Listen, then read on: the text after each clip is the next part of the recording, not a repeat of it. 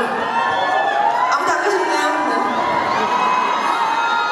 제가 여러분들에게 애플곡을 들려드려야 되는데요. 지금 뭐 마음속에 아 왜 그 노래 안 부르지? 이런 노래 있으시죠? 죄송해요. 그 노래가 아니에요.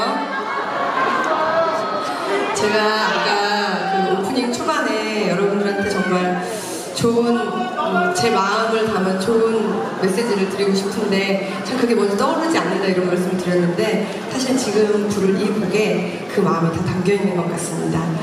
유명한 곡은 아닌데요. 제가 오늘 꼭 이 노래를 여러분들께 들려드리고 싶어서 선곡을 했는데 어, 한국에서 장필수 선생님께서 아, 선생님이라고 싫어요.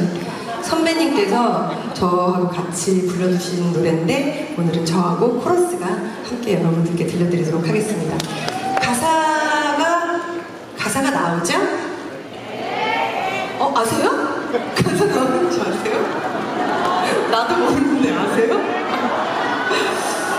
나오겠죠? 네네. 그 다음 날이라는 노래입니다. 여러분 들어주세요.